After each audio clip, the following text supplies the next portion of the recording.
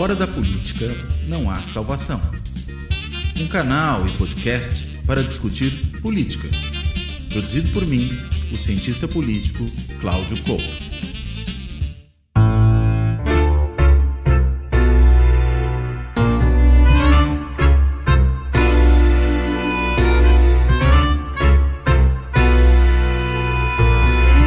Olá, este Fora da Política Não Há Salvação vai tratar das eleições argentinas, que trouxeram aí, não exatamente uma surpresa, porque as informações sobre o que poderia acontecer na Argentina já vinham de um tempo para cá, mas de qualquer maneira, uma imensa novidade, que é a eleição de um outsider da política, alguém que só se tornou deputado há dois anos, né? então nem sequer cumpriu o seu primeiro biênio ainda como deputado ao ser eleito presidente argentino, Javier Milei, e que é uma figura, podemos dizer, um tanto quanto peculiar.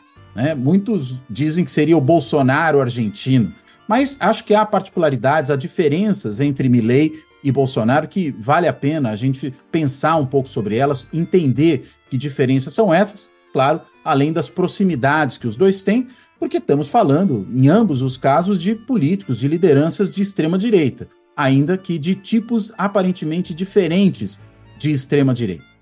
E Javier Milei vence num cenário em que a economia argentina vai muito mal, em que há uma imensa insatisfação popular com a situação econômica e o seu adversário nesse segundo turno era justamente o atual ministro da Economia.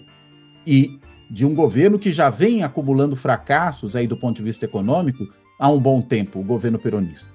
Então, eh, se Sérgio Massa é um, um, um ministro da Economia, o principal responsável por uma grande inflação, inflação que beira ali os 150% ao ano, mais de 10% ao mês, vem produzindo também uma situação de desemprego considerável, de informalidade, uma grande parcela da população empobrecida, abaixo da linha de pobreza, um cenário que não se via na Argentina há um bom tempo, mas que veio piorando nos últimos anos. Seria muito pouco provável que esse ministro da Economia tivesse ali grande força para vencer as eleições no segundo turno. Ainda que o fato do outro candidato, no caso Javier Milei, ser uma figura tão excêntrica, para dizer o mínimo, uma figura tão peculiar, poderia eventualmente levar as pessoas por cautela, por medo de um governo que poderia ser um governo anormal, votar num candidato que, com todos os problemas que tem, fosse um candidato normal. Mas isso não aconteceu. Houve a vitória de Milley, do outsider, do desafiante, do candidato extremista, por uma diferença de 11 pontos percentuais, o que é muita coisa, e aí isso mostra o tamanho da insatisfação que havia na Argentina né, nessas eleições e que se expressou nelas. E agora a questão é saber como será que será o governo de Javier Milei. Né? Ele que tem minoria no Congresso, tanto na Câmara dos Deputados como no Senado argentino, né? tem um partido ainda que, embora tenha crescido, é muito pequeno, obteve o apoio aí da, do, do Juntos pela Mudança, que é uma frente de partidos liderada, sobretudo, pelo ex-presidente Macri, e que junta ali uma boa parte da direita, teve uma candidata no primeiro turno, que foi é, é, né, a candidata da direita, uma direita dura, mas que, enfim, não era de qualquer maneira uma candidata tão ao extrema quanto, quanto Javier Milei, mas o fato é que ambos, tanto Macri como Buric e os seus partidos e boa parte dos Juntos pela Mudança apoiou Milei no segundo turno. Não foi todo mundo. A União Cívica Radical, um dos grandes partidos tradicionais argentinos que já governou o país né, em mais de uma ocasião, é, o, a União Cívica Radical rachou. Uma parcela decidiu não apoiar Javier Milei, outra parcela sim. O fato é que o partido, no fim, ficou indefinido. E aí seria até interessante pensar o que os deputados ligados ao CR, União Cívica Radical, vão fazer pelo próximo período. Vão compor a base de Milei? Não irão compor? Como ele vai construir essa base com menos ministérios, já que está reduzindo e aí a negociação de ministérios se torna mais difícil? Enfim, tem um monte de questões que precisam ser entendidas, tanto com respeito à eleição, da onde veio o Milley, né, o comportamento de diferentes setores do eleitorado, como o eleitorado jovem, que votou massivamente em Milley nessa eleição. Enfim, tudo isso precisa ser entendido e, claro, quais são as perspectivas de um governo com essas características. Bem, para entender esse assunto, eu convidei uma colega, uma amiga, a Dolores Roca Rivarola, que é cientista política, professora da Universidade de Buenos Aires e que atua também como pesquisadora no Instituto Dino Germani, que é um instituto sediado na Faculdade de Ciências Sociais da Universidade de Buenos Aires e é o principal instituto de pesquisa na área de ciências sociais na Argentina e, claro, na Universidade de Buenos Aires em particular. Uh, e dentro desse instituto, ela faz parte de um grupo de pesquisa que é o GEPOJO, falando sem o, o, a, a ênfase uh, no, no sotaque ou na, ou na entonação argentina, reporro, poderemos dizer, que é o Grupo de Estudo de Políticas e Juventudes. O que dá, inclusive, aí é, a Dolores também um, um instrumento mais interessante para a gente pensar essa questão particular do voto jovem. Mas, enfim, há um monte de temas que precisam ser tratados.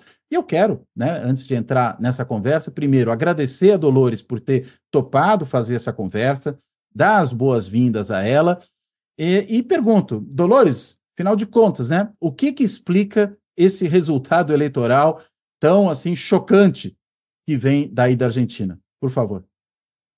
Olá, Cláudio, tudo bem?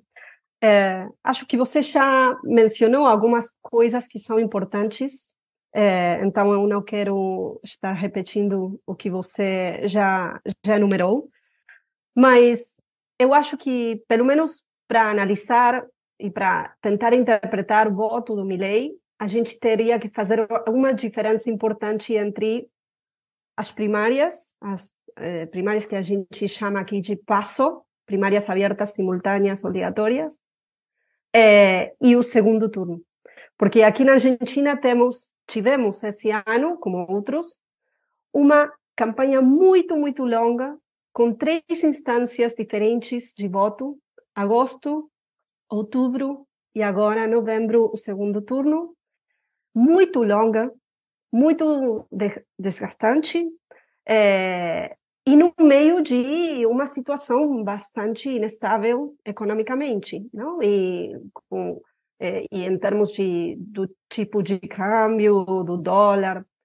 Então, o voto para o Javier Milei, para a, a Spasso, a primeira instância, é, em agosto, foi um voto mais ou menos de 7 milhões, milhões de pessoas que votaram nele, é, que tem uma explicação possível. E o segundo turno, no segundo turno, Javier Milei conseguiu junto com Macri e com a Patrícia Bullrich, é, compor um voto muito maior, quase o dobro, é, dobrou o voto do, das e a composição daqueles votos é um pouco diferente. Então, se falamos das PASO, é, a interpretação do voto do Milley tem a ver muito com algumas coisas que você mencionava já, a crise, a crise de legitimidade da política, por supuesto, é, com certeza. A insatisfação popular com a, a democracia e com a, a, política e os políticos tradicionais, o que Milley chama da casta, casta política, num, numa como num roteiro que é muito semelhante do que Bolsonaro falava em 2018, quando falava do sistema político partidário corrupto, é, do qual ele fazia parte, mas ok, é, e do que Bolsonaro falava em 2022, naquele horário gratuito de propaganda eleitoral, naquele programa em que ele falava do sistema, o sistema que é, pressiona as pessoas, o sistema que é composto dos políticos corruptos. Bom, Milley está pegando aquele roteiro de maneira muito semelhante. É, e também acho que foi, como alguns analistas falaram naquele momento, em, em agosto, um voto com esperança, não só um voto com é, é, ira, com, com é, insatisfação, mas também com alguma, algum tipo de esperança. É, esperança do, da mudança, de alguma mudança diferente. É, aí você tem um voto que tinha muito a ver também muito mais com homens do que homens do que das mulheres. As mulheres foram uma parte do eleitorado muito mais é, reácia ou muito mais é, que expressou mais sim resistente, que expressou uma rejeição a, ao discurso do Javier Milei. É, mas teve muito voto feminino também.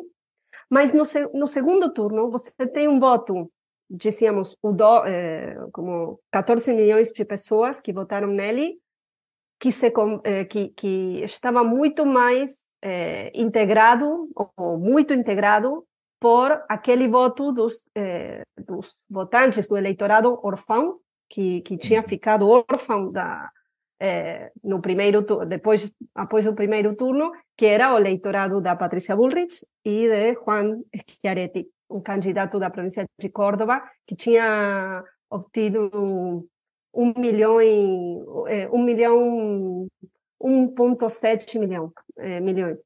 E a Patrícia Bullrich, 6 milhões de votos. Aqueles votos foram quase todos para o Milley. Você tem aqui no segundo turno um voto branco e nulo quase insignificante, né? 3%. Não é, aquela, aquelas expectativas de que uma parte do voto da Patrícia Bullrich ia ir no, no voto branco é, não se deu. É, e aí você tem talvez, talvez um atrativo do Milley é, que tem a ver com muita coisa diferente, né? Aqui na Argentina a gestão da pandemia foi muito diferente da gestão do Bolsonaro, mas também teve críticas teve escândalos, teve o que aqui se chamou vacunatório VIP, um, como quando as vacinas começaram a chegar, houve todo um, todo um escândalo de que alguns políticos, algumas figuras importantes da política tinham eh, acesso à vacina antes do que a população eh, comum, ordinária. Eh, e também teve alguns escândalos, por exemplo, uma festa da, da, da namorada, da esposa do presidente na Quinta de Olivos, no meio das restrições pela circulação. Tudo isso aqui foi como gerando uma insatisfação muito forte com a gestão da pandemia pela parte do governo. E aí, o Javier Milei e outras pessoas estavam nos, na mídia falando sobre isso também. Então, tudo isso foi um cúmulo de coisas que, é, que fizeram, que chegaram à situação que você também mencionava, do Milley é, é, conseguindo ser deputado nacional em 2021. E, e depois foi um cúmulo que, que continuou. Milley foi o, o, o economista aqui na Argentina, na Argentina que mais espaço teve na TV nos últimos anos. Ele foi convidado por muitos programas de televisão, de debate político, muito mais do que qualquer outro economista do, do país. Então, Aliás, ele ficou tipo te... celebrity. Se houve um estudo sobre isso. É, eu ia te perguntar exatamente sobre isso, desculpa, mas é só, eu queria só fazer um paralelo, né? Porque é interessante que o Bolsonaro, Diferentemente do Milley, né, que, enfim, só teve dois anos aí de deputado, era uma figura, em grande medida, de fora da política institucional. Bolsonaro ficou, você mesma lembrou disso, muito tempo como deputado, né? Sete mandatos ali como deputado. E, e, eu chamaria de ser por mais um dado, todos os filhos na política, um vereador, outro deputado estadual, outro deputado federal, depois, enfim, uh, não dá para dizer que ele era exatamente um outsider, né? Eu acho que ele era muito mais um marginal na medida em que uhum. ele ocupava um espaço periférico, né, nessa, no processo decisório, né, não influenciava decisões, não era visto como uma liderança dos seus pares. Mas, o baixo clero. Baixo clero, mas veja, eu acho que mais do que baixo clero, não era nem o baixo clero que, por exemplo, votava disciplinadamente com o partido, né? Era uhum. um maverick, né? Aquele indivíduo que corre meio sozinho. Sim. Uhum. E, ao mesmo tempo, é, ele era muito chamado para televisão também é, muito chamado. Né? O Bolsonaro estava sempre em algum tipo de programa de televisão. Uh, eu, eu, gosto de usar uma imagem que fala que ele era chamado à televisão porque ele era uma espécie de atração de circo de horrores. Né? Então você tem uma figura tão bizarra, tão estranha, que se torna uma atração de audiência. É, é algo assim também que ocorreu com o Milley na Argentina? Dá para comparar essa, essa situação? Eu acho que é exatamente assim. Na, na semana passada, ou na outra semana, é, antes do, do segundo turno, você tem um podcast também no Spotify sobre que foi criado pela revista Anfíbia, que foi um podcast sobre o Javier Milei, que se chama algo assim como Sem Controle. É, eu ouvi esse podcast, é muito bom, né? Ah, tá. Do El País também, né? é um pouco, sim, sim, sim, como... Claro, exatamente. E aí é, tinham é, pegado alguns, alguns testemunhos é, de pessoas da, da, mídia que falavam que quando eles convidavam o Javier Milei, a audiência explodia, né? No minuto em que ele começava a falar, eles mediam e sabiam que muitas pessoas estavam assistindo. Então, isso que você falou é exatamente assim. É, e na, em algum momento, naquele naquele longo tempo em que em que ele era convidado na TV e ele tinha aqueles surtos de violência verbal, ele decidiu que ia fazer uma carreira até a presidência. Ele anunciou isso? isso? Eu acho que ele decidiu. Naquele ah. momento ele decidiu. E esse ano foi anunciado a, a, oficialização das listas aqui, porque temos listas para as eleições. É, acho que foi sete meses antes do segundo turno. É, mas era, como você dizia tam, também, como uma sorte de, uma espécie de celebrity, de pessoa estranha, né? E para as passo, para as primárias, foi uma surpresa para todo mundo o resultado dele. Para o segundo turno não era tão, tanta surpresa já, mas para as passo foi uma total surpresa. As pessoas achavam que ele, e as pesquisas também, achavam que ele ia ter um resultado importante, significativo, mas não que ia ficar primeiro. E depois o primeiro turno foi como Massa logrou virar, conseguiu virar. Mas a principal candidata que tinha perdido, que não tinha, eh, que não tinha acesso ao segundo turno, manifestou que ia apoiar Milley e o apoio foi muito para ele. Muitas pessoas eh, que votaram no Milley no segundo turno, acho que não consideram que ele é o melhor candidato, que ia ser um bom presidente, eles só queriam tirar o kirchnerismo do poder, hum. do governo. Foi uma campanha muito mais centrada, muito mais centrada é, no antikirchnerismo, na mudança, como chama, como Macri fala, do que é, uma real, uma campanha realmente ultraliberal ou ultralibertária, ou que as pessoas que votaram nele achem verdadeiramente que o ultraliberalismo vai ser a solução para a Argentina. Por que Isso então a Burit não teve uma, um desempenho melhor, né? Porque, vamos dizer, ela seria um anticristinerismo, era uma, ela se apresentou né, como uma candidata de direita dura, né, com um discurso também muito duro, embora acho que não no extremismo que caracteriza o Milley. Uh, por quê? O, não, o Frente, uh, o Juntos pela Mudança, melhor dizendo, não, não virou uma alternativa? Na verdade, nas primárias, Juntos pela Mudança, Juntos pelo Cambio, tinha dois candidatos, Bullrich Sim. e Rodrigues Larreta. Rodrigues Larreta era uma, um dirigente que talvez parecia que poderia até ganhar contra Massa num segundo turno, se ele eh, chegasse lá.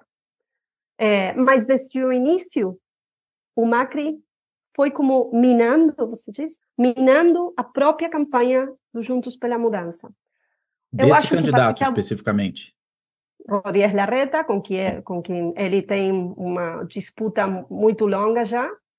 Primeiro, apoiando a Patrícia Bullrich e criticando muito o Rodrigues Larreta, mas depois também, depois do primeiro turno, minando a campanha da Patrícia Bullrich. Hum. Falando desde o primeiro dia após o primeiro turno que as pessoas tinham votado por Milley porque elas queriam um câmbio e que o câmbio era o que ele que, também queria e com uma com uma um um caminho de como dizer coquetel de mistura não, de atração, como de falar bem do, do outro candidato e não falar da candidata própria. Sei. É, No Brasil a gente chama isso, aí tem um termo muito brasileiro, na realidade, de cristianização. Né, que é quando você abandona o seu candidato e apoia o candidato adversário. Né?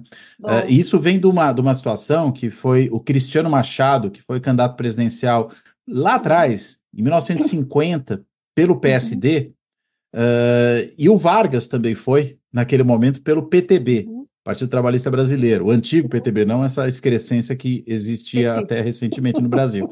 Uh, e uh, os membros do PSD, em vez de apoiar o Cristiano Machado, apoiaram Vargas.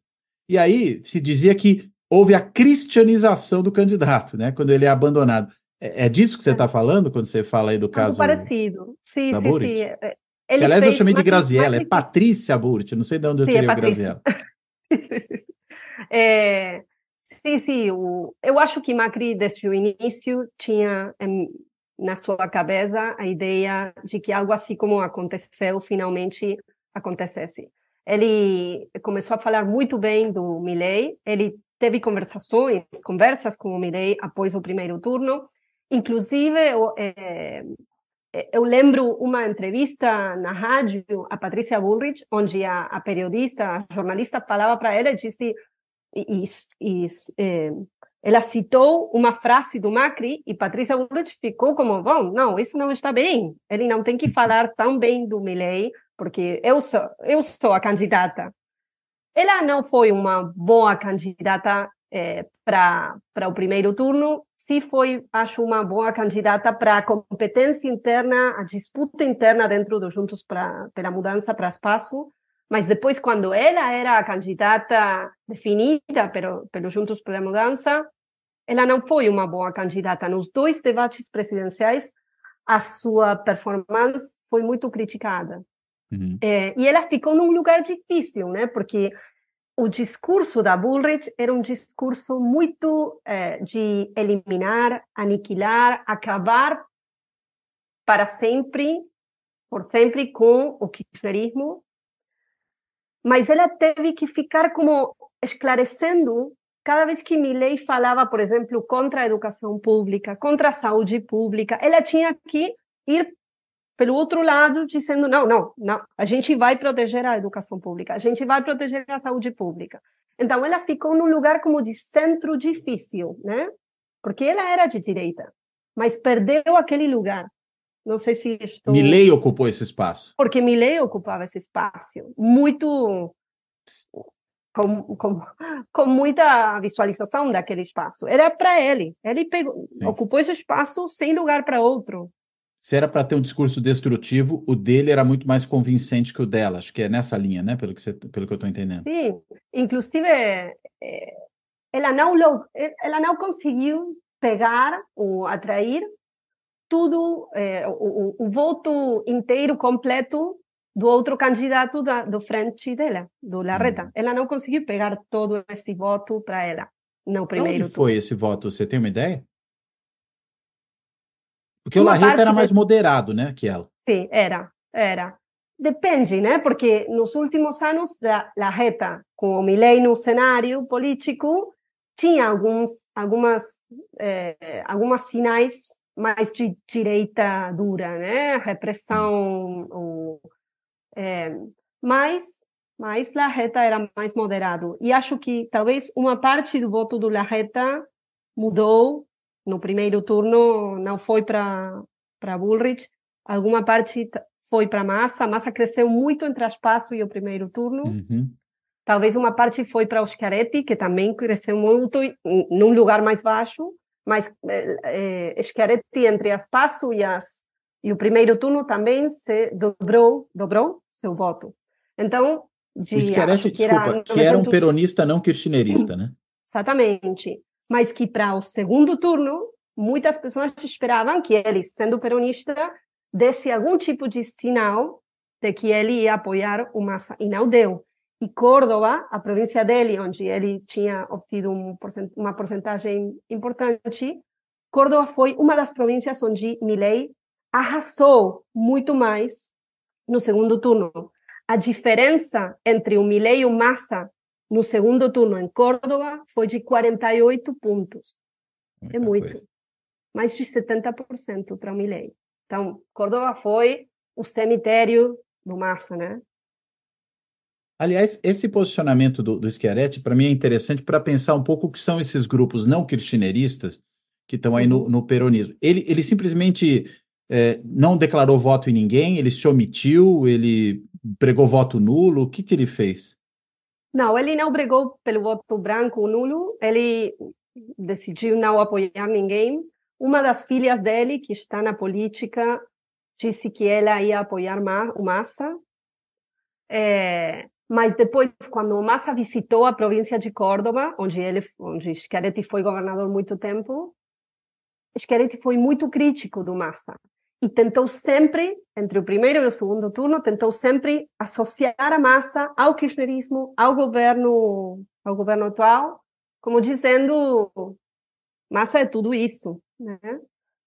É, nunca falou bem do Milley, apoiando o Milley, inclusive o dia da votação agora no segundo turno, quando ele estava por eh, emitir seu voto, ou depois, acho, quando ele tinha tinha votado, eh, ele falou com a mídia e falou a favor das políticas de memória e justiça sobre os crimes da ditadura.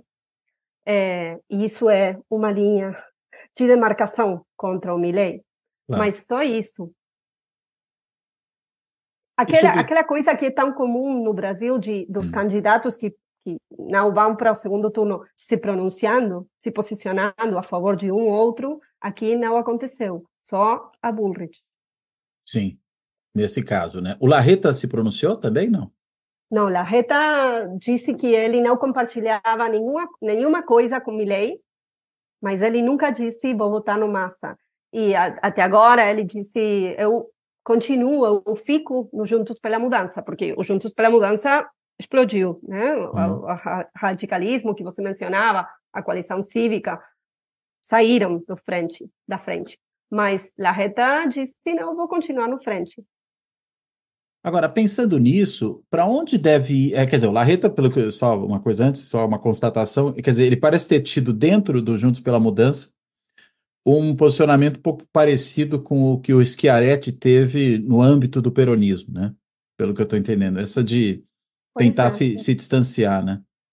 Uhum. Mas deixa eu pensar uma coisa junto contigo. É, como é que vai é, ficar todo esse grupo, né, que apoiou Milley ou que uhum. ficou na neutralidade ou eventualmente como vai ficar isso na relação que ele vai estabelecer daqui para frente com o Congresso, Congresso, e também com os governos provinciais, né? Porque acho que isso também é um elemento importante. Sim, sim, porque eh, além disso, o, o Milley é o presidente com a menor base política inicial desde eh, 1983, desde que a Argentina eh, voltou a ser uma democracia. Então, ele tem a menor base política no Congresso, ele vai ter um apoio de uma parte de Juntos por, eh, por el Cambio, Juntos pela Mudança. Não sabemos ainda quantas pessoas. É claro que o PRO, o partido do Macri mais é, é, leal a Macri, vai apoiar o Milley no Congresso, não, não talvez como uma como uma bancada, mas talvez como bancadas aliadas, né? Como uhum. aqui dizemos, de, chamamos de interbloque, não? Como diferentes... Não vai ser uma coalizão, é isso? Pode ser, mas o que eu digo é não é uma bancada unificada com um hum. presidente da bancada, mas diferentes bancadas que atuam juntas, que cooperam, Entendi. que coordenam é, esforços. Um pouco como o é... nosso centrão aqui. Sim, com a diferença em que acho que aqui vai ser, porque o Centrão é muito diverso ideologicamente, Sim, né? Exato. Aqui vai ser como um pouco mais. É, mais coeso. Um, sim, sim, eu acho que sim. É, o Milei aqui estava procurando, porque não lembrava exatamente, mas estou é, procurando por aqui. Mas o, o Milei tem menos do 10%, 15% da, da Câmara e do Senado. Uhum. Eh, acho que ele tem sete senadores e 38 deputados, só a base própria, né? E depois tem aqueles deputados do macrismo que podem chegar, tudo junto, pode chegar a somar algo assim como 80, um pouco mais, na Câmara de Deputados, que isso não é quórum, né? Então, não é suficiente para fazer muita coisa. É, e depois você tem alguns partidos pequenos provinciais que podem, talvez, ser aliados circunstanciais. É, o kirchnerismo claramente vai, ser con vai estar contra, mas talvez alguma parte do peronismo negociando, pode ser. É, é, é difícil agora ter certeza de quantas pessoas. Ele vai ter que construir uma base, isso é claro. Milei vai ter que construir uma base no Congresso, não sei como vai fazer isso, vai, vai ter que construir uma base, porque tem muita coisa que ele poderia fazer pelo de, por um decreto, um DNU. Decreto depois, de necessidade de urgência, né? Que é o, o, o, parecido com a nossa medida provisória, né? Exatamente. Mas depois, aqui o sistema é, é, como é, obrigado, é obrigatório que depois isso passe pelo Congresso e o Congresso tem que de algum jeito como apoiar isso ou rejeitar isso. É, o problema que a gente tem também é que aqui no verão, quando ele, quando seja, seja a posse, depois ele tem alguns meses em que o Congresso pode não sessionar, né? As sessões ordinárias do Congresso podem estar paradas até o final do verão salvo que alguém diz, diga, é, salvo que alguém é, que, que o Congresso tenha sessões extraordinárias, que às vezes acontecem. Então, pode ter como dois meses de medidas do Milley que depois deveriam ser é, refrendadas, não sei como dizer, no Congresso. Sim, isso no, no caso das, dos decretos, né? Quer dizer, ele pode, no Sim. meio desse interregno, Exatamente. implementar, só que nada garante que isso vá ser aprovado depois, né? Isso. Isso. Né? Aliás, é uma peculiaridade né, da Argentina em comparação conosco, né? Porque, na verdade, você tem essa. Quer dizer, a gente aqui também tem, o presidente começa o seu mandato sem o Congresso funcionando, mas me parece que na Argentina é um período um pouquinho mais longo, né? Em que uhum. isso acontece, né? E aí realmente tem um espaço para um monte de coisa. E, e, e, com os, e com as províncias, hein? Qual, qual, qual que deve ser a, a, a relação desse governo com as províncias? Porque aqui no Brasil, por exemplo, no caso do Bolsonaro, a gente viu um constante enfrentamento dele com governos estaduais. Né? O caso Sim, mais notável na pandemia. Uhum. Exato, durante a pandemia, né? Tanto que uhum. Eh, até diria que foi esse confronto com os governos estaduais que, de certa forma, jogou também o Supremo Tribunal Federal no confronto com ele, quando teve que decidir na pandemia em favor dos governos subnacionais contra o uhum. Bolsonaro. E na Argentina, é, é, e co como você visualiza aí esse tipo de relação diante, claro, né, do fato que também o, o partido dele não tem nenhum governo, né, provincial. Uhum. É, imagino que não tenha prefeitos também. Tem seis tem, prefeitos, tem, acho, sim, muito, muito poucos, muito né? Uhum. Como é que deve ser essa relação? Bom, eu acho, eu acho que, em primeiro lugar, o Macri vai ter algum, o Macri ou pessoas eh, relacionadas com o Macri vão ter aí algum lugar de coordenação, de negociação com os governos provinciais. E tem outra coisa que não sei se é um pouco diferente aqui na Argentina do que no Brasil, que é que as províncias, ainda que é, tenha muita autonomia em algumas coisas, as províncias dependem muito em termos de, da coparticipação, é, do, do, reparto do, das verbas, do dinheiro. Então, muitas vezes são as províncias as que também acabam negociando alguma coisa com o governo central. Inclusive, por exemplo, num governo como foi o governo do Macri em 2015, 2019, em que muitas províncias não eram aliadas a ele, mas há, há barganhas lá. É, mas eu não sei como isso pode acontecer aqui, porque o estilo do Milley é diferente, o,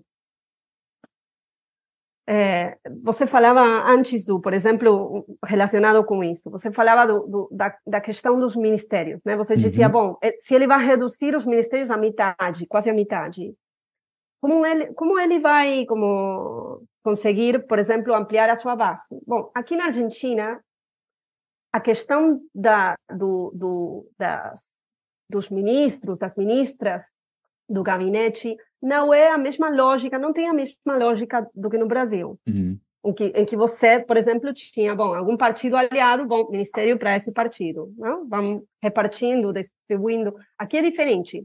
Que parece e com o parlamentarismo até nesse sentido, né? O que a gente tem no Brasil, os parlamentarismos multipartidários, né? Em que você divide as pastas pelos partidos da coalizão, né? Claro, aqui não é assim, nunca foi assim. Inclusive, teve, teve alguns governos em que os ministros foram é, pessoas, figuras é, com prestígio próprio, ou que vinham do entorno do presidente ou da presidenta. E aqui eu acho com Milei que está começando a, a, a, se ver alguma coisa semelhante, porque os primeiros ministros e ministras que ele foi anunciando, ministros que ele foi anunciando, não são pessoas de uma coalição em construção. São pessoas que ele conheceu na, na, na trajetória dele, no, na empresa do Ernakian, onde ele trabalhou, no caminho que ele fez pela mídia, naqueles programas que falávamos que foi que ele, que ele era convidado. É, alguns ministros têm muito a ver, eu acho, com essa relação difícil que ele pode chegar a ter com a justiça. É, hum. Então, eu acho que, que a lógica tem algumas diferenças e que Bom, o ministro de Economia ainda não foi definido, mas ele definiu justiça, ele definiu infraestrutura. Bom, ele vai levar a, a obra pública a sério, ele disse, mas infraestrutura Capital humano, ter... né? Parece que ele definiu também, né? Como? Capital humano, né? Que Capital ele vai juntar humano, saúde, educação, uhum. tudo ali. Sim, saúde, educação, des, eh, desenvolvimento social, acho que vão ser parte daquele Ministério de Capital Humano. Uhum. Hum. Agora, por que, que você acha que ele pode ter problemas com a justiça? Eu queria entender isso, até para entender também o papel do judiciário, né? Perante um. Porque, de novo, só fazendo um paralelo com o Brasil, né? O, o enfrentamento do Bolsonaro com as cortes foi fundamental. Se a gente também pensa outras lideranças da extrema-direita, vai, Orbán na, na Hungria e a relação que teve com o judiciário, né? ou mesmo que não são de extrema-direita, mas lideranças autoritárias populistas, Chávez na Venezuela, ou seja, você sempre tem aí problemas na relação com as cortes, né?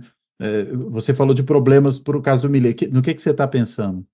Sim, eu não pensava, por exemplo, em, em, em, uma questão de cargos contra ele por corrupção. Isso pode acontecer também, mas há algumas medidas que ele vem eh, que, que o, o programa do governo tem lá como eh, que está muito claro, muito explícito no programa de governo, que eu acho que não vão ser tão tão fáceis de, eh, de desenvolver. E algumas dessas medidas podem derivar num problema com a justiça. Aí eu deveria esclarecer alguma coisa, que é que a, a Corte Suprema da Justiça aqui, o Tribunal Supremo, a Corte Suprema, tinha vinha, tinha, vinha tendo uma relação muito, muito tensa com o governo atual.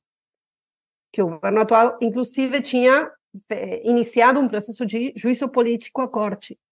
Então, e dois, dois membros daquela corte são pessoas relacionadas com Maurício Macri. Então, isso aí pode ser uma relação muito menos tensa do que o governo atual. Mas algumas medidas que ele quer, o que ele tem pensado, ou tem anunciado, são difíceis. Por exemplo, o, fechar o Banco Central.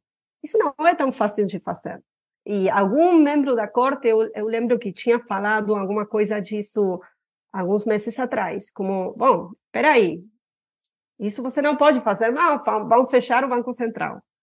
Então, eu acho que pode ter no seu caminho algumas alguns obstáculos da justiça. E também aqui na Argentina tem uma coisa que é que, eu acho que no Brasil também, que você pode ter é, um juiz é, não da Corte Suprema, mas embaixo, uhum. que aplique como que que, que, que vai e diz que vai e diz não, peraí, você não pode fazer isso. Então você entra como num processo entre um juiz comum embaixo da corte e o governo como tentando é, obstaculizar ou tentando deter um processo de uma medida do governo. Você pode ter isso também. Eu não sou advogada, mas tem algumas, então, mas tem algumas coisas que podem ser como momentos de tensão com a justiça. Interessante. Agora, dando um passo atrás, né? A gente falou da eleição do Milley, falou da, da questão aí da, de como ele obteve votos, de candidatos do primeiro turno, a relação. Só que faltou falar num ponto que eu até mencionei no começo e que tem chamado muito a atenção, que é essa história do voto jovem no uhum. Milley. Né? É o que? É o rockstar, é o, aquele que, enfim, onde pega. Né? No Brasil, de novo comparando com o Bolsonaro, é interessante que ele era chamado pelos seus apoiadores, inclusive os jovens, mas acho que não só, do mito. Né? Porque talvez tivesse um comportamento disruptivo, né? E ao ter esse comportamento disruptivo, vamos dizer, nossa, esse cara arrebenta. Né? É, algo assim. o, o que, que há aí de, de, de, de tão atrativo no Milley para esse público jovem? Sim. É... Bom, aí tem duas coisas diferentes, acho. Uma, uma coisa é, por exemplo, o, o seguidor intenso do Milley dentro dos jovens, porque aí tem também alguns estudos sobre isso, por exemplo, Melina Vázquez, do, do grupo em que eu trabalho também, vem estudando isso, a militância dos jovens e das jovens dentro do, da Liberdade Avança, que é o, o a Liberdade Avança, que é o partido do Milley, e, a, e aí você tem como muita como uma confluência de pessoas que vêm, em alguns casos, por exemplo, da militância contra a legalização do aborto, que uhum. foi legalizado em 2020 na Argentina, mas teve dois processos muito importantes de discussão pública em 2018 e 2020. E aí teve como um movimento importante, que foi aqui chamado os Pañuelos Celestes, que foi um movimento contra o direito ao, ao, ao, aborto. É, e tem uma militância aí, um ativismo juvenil, que, ou de jovens, que pela primeira vez considerou que era aceitável o que o que tinha chegado a um lugar que era a liberdade avança, os libertários, diferentes frentes que, que confluíram aí, que tinham chegado a um lugar onde era aceitável falar eu sou de direita. Hum. E isso acho que tem muito a ver com o que aconteceu no Brasil. Porque Sim. eu acho que Bolsonaro, faço esse parêntese, depois continuo. Bolsonaro, eu acho foi o primeiro candidato desde a de, eh, recuperação da democracia no Brasil, desde 85, que foi tão explícito, reivindicando ou, ou defendendo o seu caráter como candidato de direita. Isso, isso se traslada à população também. Aqui na Argentina, Inclusive o macrismo não falava de, si, de, de, Macri não falava dele como um candidato de direita. A campanha do macrismo em 2015 não foi uma campanha com com simbologia ou com termos ou com um discurso de direita. Um discurso pela mudança, você não vai perder nenhum direito, é, alegria, foi isso. Mas a campanha do Bolsonaro em 2018 foi uma campanha de direita, anticomunismo, né? falando do, do, da queda do muro de Berlim. Bom, aqui a campanha de Milley também foi uma campanha de direita. E foi como, de repente, era como aceitável ser de direita. Para muitas e muitos jovens, algo aconteceu aí. Mas depois você tem um voto que não é um seguidor intenso, como convencido, que é um voto contra, né? Também contra a política tal como estava, o status quo, a, a classe política argentina, que vinha fazendo tudo para que algo assim acontecesse também, né? O, as próprias brigas dentro do governo entre 2019 e, agora foram brigas terríveis e que toda a população escutava, né? Entre a preside eh, o presidente, a vice-presidenta. Bom, então eu acho que muitas pessoas que, por exemplo, é, é, eu lembro de um estudo que foi feito no ano passado, 2022, por eh, Gabriel Bomaro, Gabriel Kessler e Gonçalo Asusa, onde eles faziam pesquisas com jovens, né? E eles falavam de jovens rebeldes punitivos. Né? Jovens com rebeldia, mas que estão a favor da pena de, eh, pena de morte? Sim, pena de morte. Pena de morte, a favor de se armar das armas, que estavam contra os políticos, a classe política. E eu acho que muito disso foi explodindo também a pandemia foi um momento em que você, se você pensar que para os adolescentes, as pessoas entre, não sei, 13 e 17 anos, a pandemia na Argentina implicou restrições de circulação por muitos meses. Jovens que tiveram que ficar na casa com você, com, comigo, com, com os adultos, sem ver Exatamente. a sua namorada, sem poder sair, sem ver seus amigos. Bom, esses jovens que agora, nesta eleição, teve 18, 20, 22, 23, que talvez era seu segundo voto, seu, sua segunda vez de votar, essas pessoas acharam no Milley um candidato é, com muito, como rebeldia, com rock?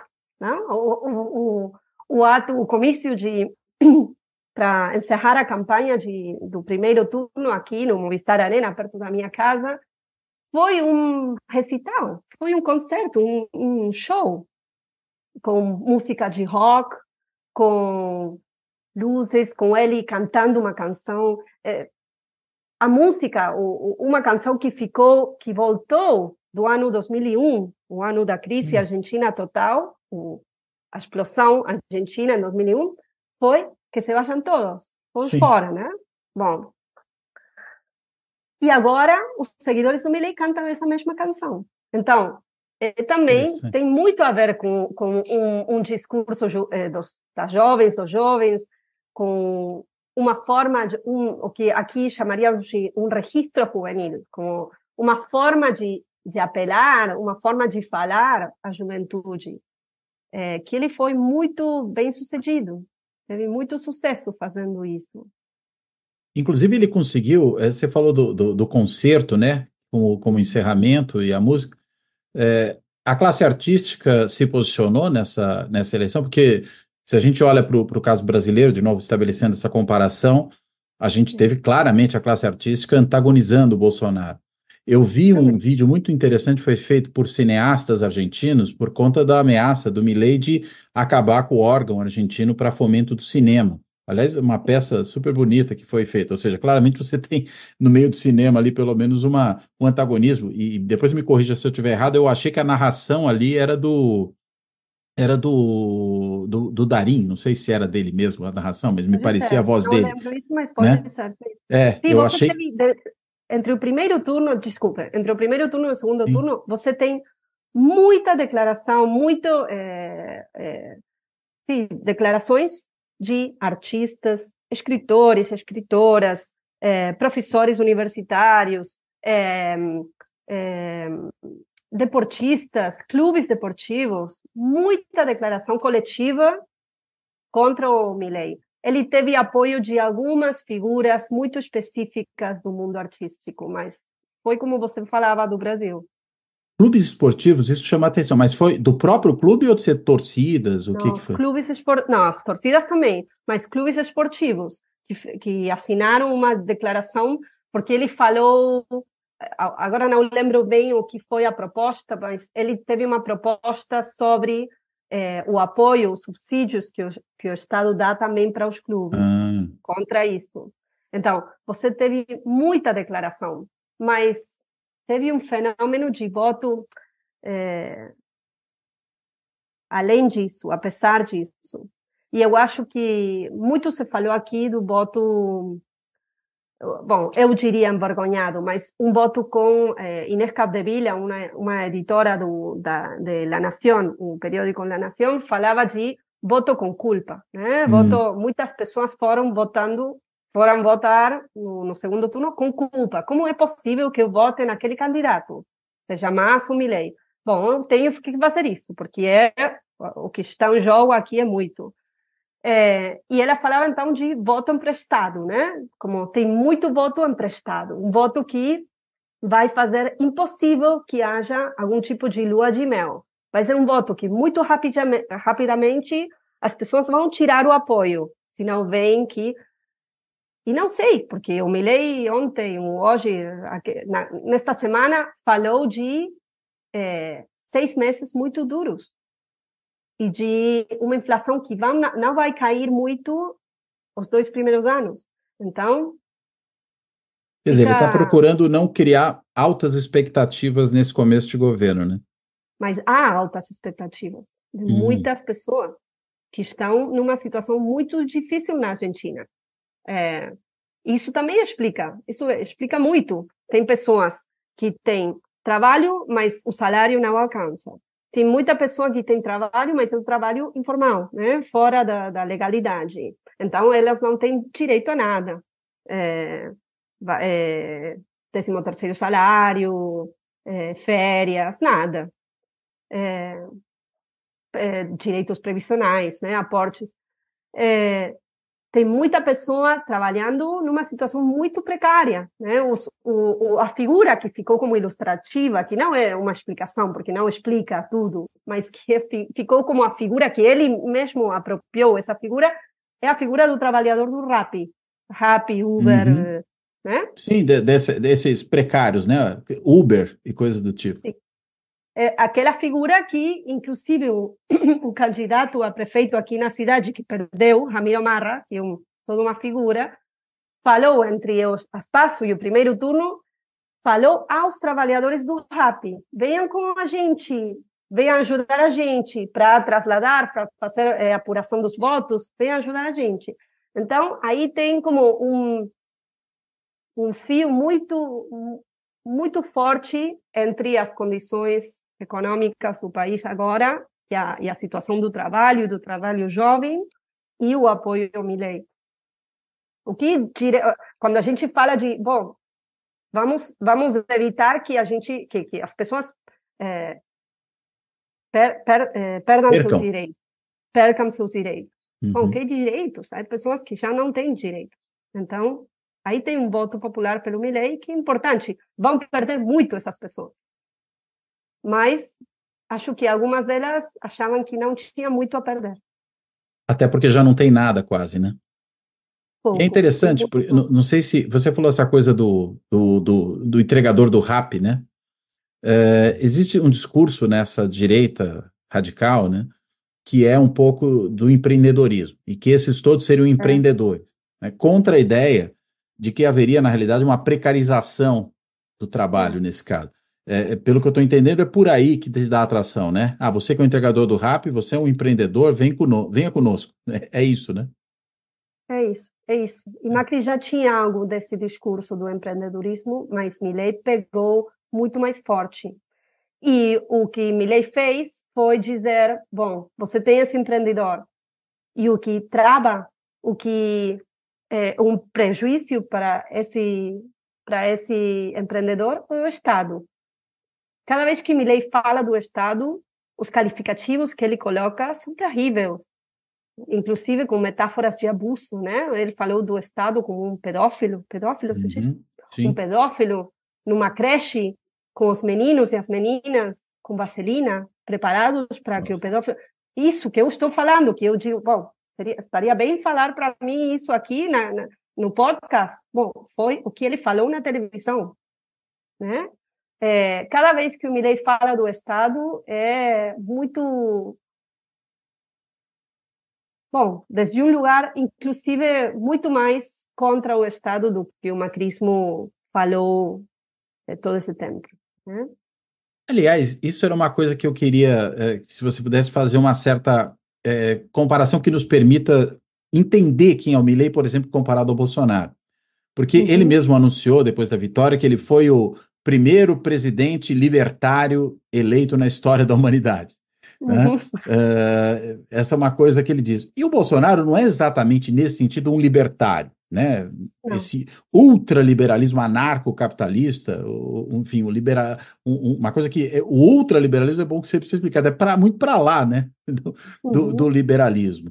Uh, o Bolsonaro, pelo contrário, né, tem um discurso ultraconservador em todas as questões e uhum. costumes, não tem nada de liberal aí, embora tenha uh, adotado durante a sua campanha, algo que ele nunca teve durante a sua carreira política prévia, que era um discurso pró-mercado, porque sabia que isso ia agradar uma parcela do eleitorado e mesmo das elites econômicas. E aí uh, nomeou ali um economista eh, neoliberal, claramente, né, um liberal duro, que foi o, o Paulo Guedes, Guedes, e não chegava uhum. a ser um libertário exatamente, né, não, não, chegava a esse ponto. O Milley é um economista, adota esse discurso, uh, uhum. e vamos dizer, ele parece que a gente está falando de duas extremas direitas diferentes, né? Essa libertária e essa bolsonarista que tem outras características, tem apoio evangélico, que também, de novo, não aparece no caso do Milley, não me parece que religião seja um elemento, mas pelo contrário, né? Ataca o Papa eh, argentino de uma uhum. forma assim virulenta, né? Uma coisa que chama muito é. a atenção. Eh, dá, como é que a gente pode entender que direita radical é essa do Milley eh, comparada com essas outras direitas radicais que a gente tem visto hoje, inclusive no caso brasileiro? Eu acho que, em algum sentido, Bolsonaro e Milley, como direitas, são direitas que são parte de uma família, uhum. mas que têm matizes, diferenças, né? Você falava do, do, dos neopentecostais, dos evangélicos lá e, e, aqui na Argentina. Aqui na Argentina teve uma declaração também, quando falamos das declarações, das cúpulas do evangelismo argentino contra o, Milei. Mas, mas, no eleitorado do Milei, você deve ter muito evangélico também contra o aborto. Mas você falava algo que para mim é muito importante na diferença entre Milei e o Bolsonaro. Uma coisa é o Milley mesmo, ele sozinho, seu discurso, que é central, porque ele é o protagonista de tudo isso. E outra coisa são os aliados do Milley. A vice-presidente, a vice-presidente eleita Victoria Villarruel, eh, Venegas Lynch e outras figuras, outras pessoas que se representam o neoconservadorismo, o conservadorismo na Argentina, em termos da é, da, do que aconteceu com a ditadura e a leitura sobre aquele passado em termos do aborto e outros direitos das mulheres e, e, e em termos da, por exemplo, da, da educação sexual nas eh, a ESI, que chamamos aqui a educação sexual nas escolas, escolas. E também você tem o Milley mesmo. O Milley mesmo, como você dizia, é diferente do discurso de Bolsonaro, que estava muito mais centrado, por exemplo, em 2022, é, Bolsonaro estava muito mais centrado em falar contra a legalização das drogas, contra a legalização do aborto, é, a favor da família, da família tradicional, heteronormativa, contra o comunismo. Com, bom, se você, lembrando, por exemplo, nos discursos da, daqueles atos, daqueles é, comícios em setembro, pelo dia da Isso, independência. No 7 de setembro. É, Claro, aquele, aquele, é, é, aquele discurso do Bolsonaro do match épico, eu falo do match épico entre a esquerda e a direita, é, 35, 64, é, 2016, 2022, como, como uma, uma sorte de, uma espécie de é, é, briga histórica entre a esquerda e a direita, e ele representando o bem, que era a direita. Bom, Bolsonaro estava obsessionado com tudo aquilo, e Milley é anticomunista, fala do anticomunismo, fala do, dos socialistas como excremento humano, não? É, mas, como você dizia, o, o, o, foco do Milley é muito mais o liberalismo econômico e todo, ler tudo a partir daquele prisma, Sim. Como, daquele prisma, daquela, daquela teoria, que é, como você dizia, marginal, inclusive, dentro das teorias econômicas né, atualmente. Mas venda de armas, venda de órgãos, comércio exterior, é, a questão de se a gente pode é, reconhe reconhecer que há uma diferença de gênero nos trabalhos, nos salários. Bom, tudo isso ele, tudo isso ele vai ler com a, o prisma do liberalismo econômico. É, então, mas ele tem muita coisa comum com Bolsonaro. Aquele eixo anticasta ou anti, anticorrupção, é, no caso do Bolsonaro, anticasta aqui, tem muita coisa comum. É, a questão da ditadura é, é, é, é parte importante, é, era um foco para Bolsonaro no governo, quando ele foi governo, é, diferentes declarações, medidas, mas no caso do Milley, não através dele tanto, com exceção do debate em que ele mencionou alguma coisa da, da, da ditadura, mas a questão da ditadura ele delega para a vice-presidenta. Uhum. E a vice-presidenta é uma figura muito, muito perigosa e muito importante em termos de uma sorte de uma espécie de revanchismo é, daqueles setores que ficaram muito calados entre 2003 e agora sobre os os, as condenas, a política de memória, de justiça. Isso é, é ela mesma é filha, né, de medo. militares que participaram é. do regime, né? Ela é filha de um militar que participou na Guerra de Malvinas e que também teve a ver, mas ela ela foi durante muitos anos.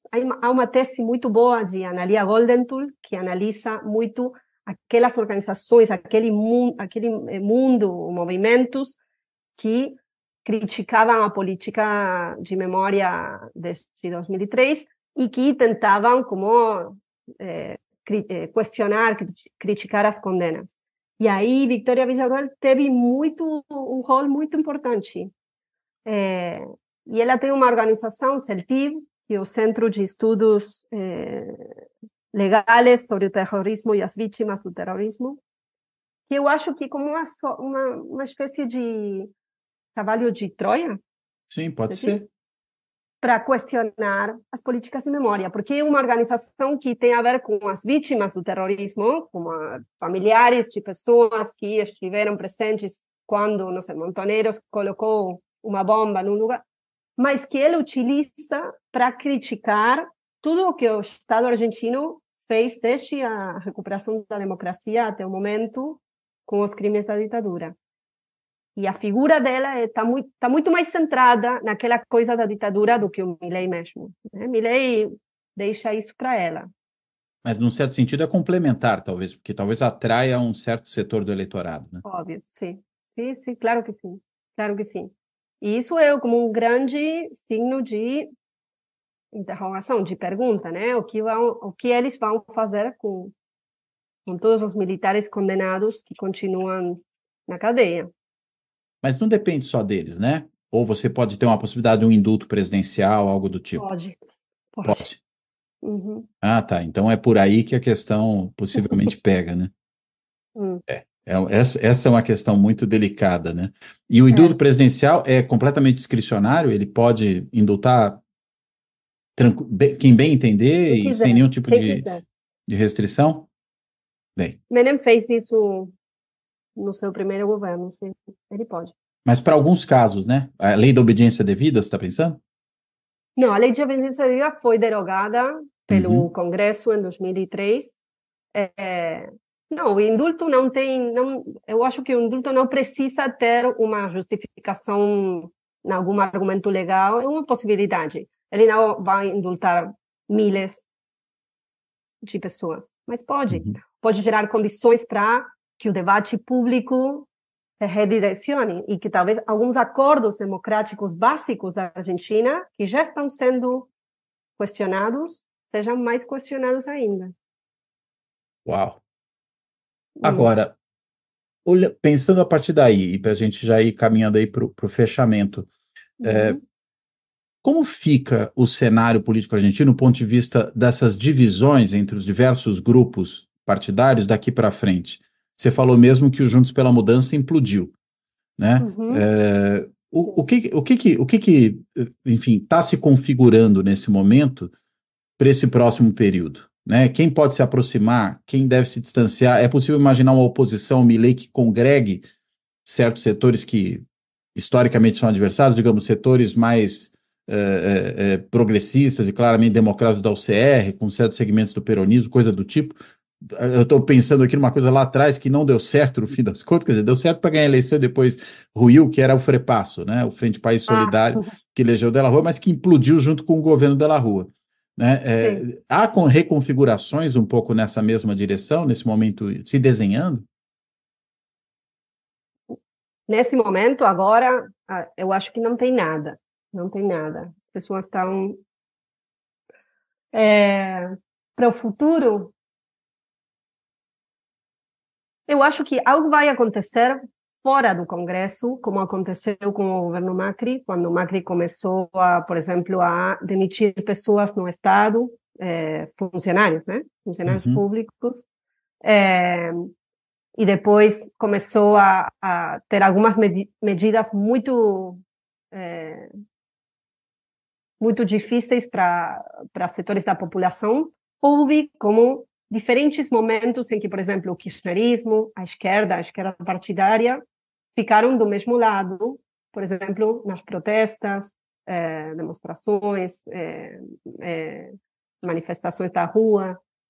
Do Congresso, no Congresso, não sei como isso vai vai se desenvolver, porque ainda o, o, a UCR, o radicalismo está, eu acho, muito golpeado pelo que aconteceu.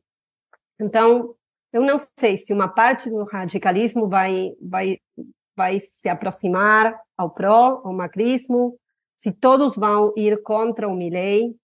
É, é muito difícil de, de pensar alguma coisa assim. A única figura, eu acho, do, do peronismo que ficou fortalecida da eleição é o Kisilov, na província de Buenos Aires, que o foi eleito né? governador, sim. É, mas não sei se ele vai ter um lugar como uma figura de é, para aglutinar, para fazer que os outros se aproximem. Eu não sei. De reorganização até, eventualmente, né? Exatamente. É muito difícil saber. Eu acho que vai, vai haver, vai ter muita reação, muita reação é, as primeiras medidas mais, é, não sei como dizer, violentas, não, mais difíceis do governo. Vai ter muita reação. Isso vai acontecer. Mas não sei se isso vai, vai ser, o, o Congresso vai ter um rol aí, um, um papel muito importante, ou vai, vai ser muito mais fora, fora das instituições, instituições, desculpe. Tudo bem. Nossa, que ótima conversa, Dolores. O cenário não é ótimo, mas a conversa foi ótima. o cenário Sim, é preocupante. Muito obrigada momento. pelo convite.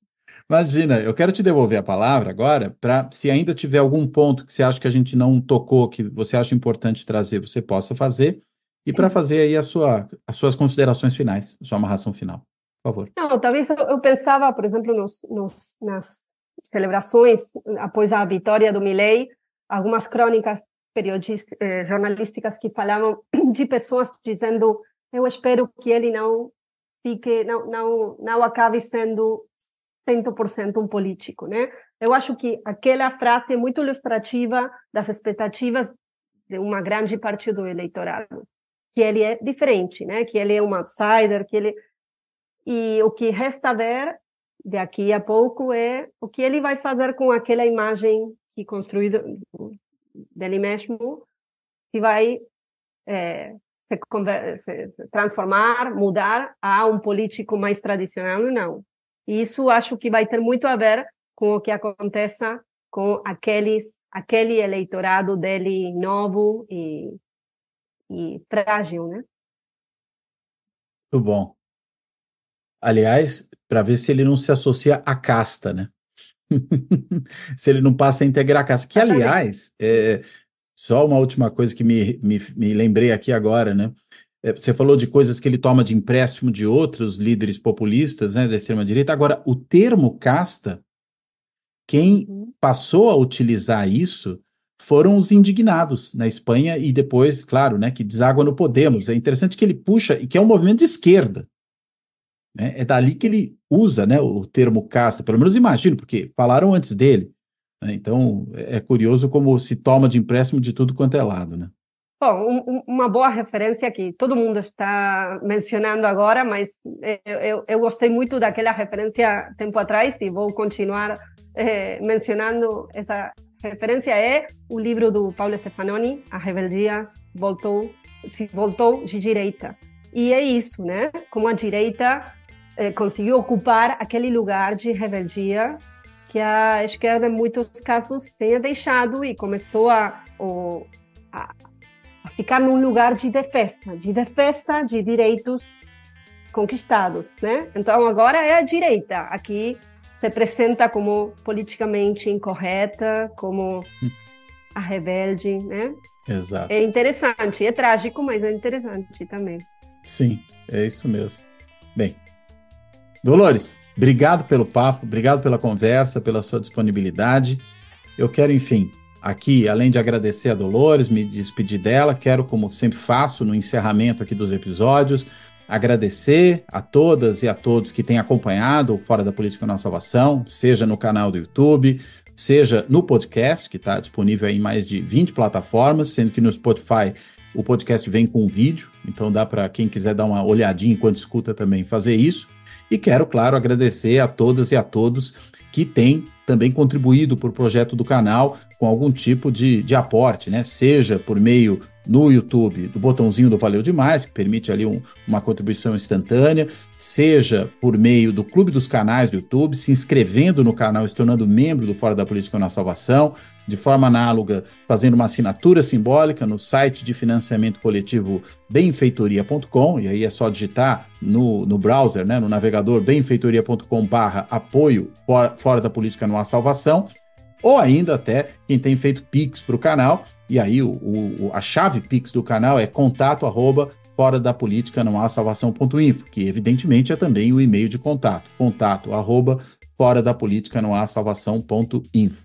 Então, dito tudo isso, eu fecho por aqui, agradeço de novo a Dolores né, por essa ótima conversa e me despeço dela e de todo mundo. Até a próxima.